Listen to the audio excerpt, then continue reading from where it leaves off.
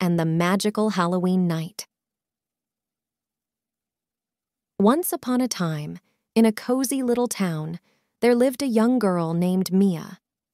Halloween was Mia's favorite time of the year, and she couldn't wait for the magical night when the world turned into a place of wonder and mystery.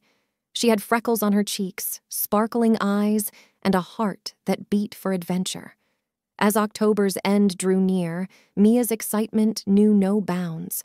She spent weeks crafting her perfect costume a sparkly wizard's robe with a hat and a wand that sparkled like starlight. On Halloween night, as the sun dipped below the horizon, Mia set off on a magical Halloween night adventure.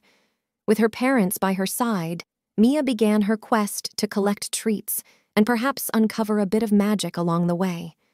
Their first stop was the spooky haunted house, where the cackling witches and friendly ghosts shared tales of the enchanted brew they brewed.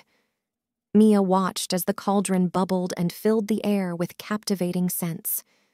Further along their journey, they reached the glimmering pumpkin patch, where Jack the Pumpkin shared stories of the pumpkin's glow and the spirit of Halloween. Mia marveled at the magical pumpkins, each one lighting up the night with a unique design. But it was their visit to the enchanted forest that left them the most entranced. There, they met Edgar the Owl, who shared stories of the forest's secrets and the wisdom of the night. Mia watched as Edgar spread his wings and soared into the moonlit sky, disappearing into the dark trees. As the moon shone bright in the night sky, Mia and her parents returned home, their hearts full of candy and the joy of their Halloween adventure.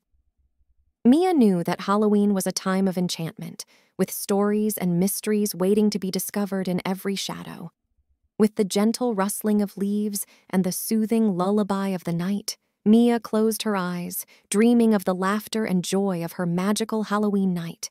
She knew that every Halloween held the promise of new adventures, and the holiday's magic was as endless as the imagination itself.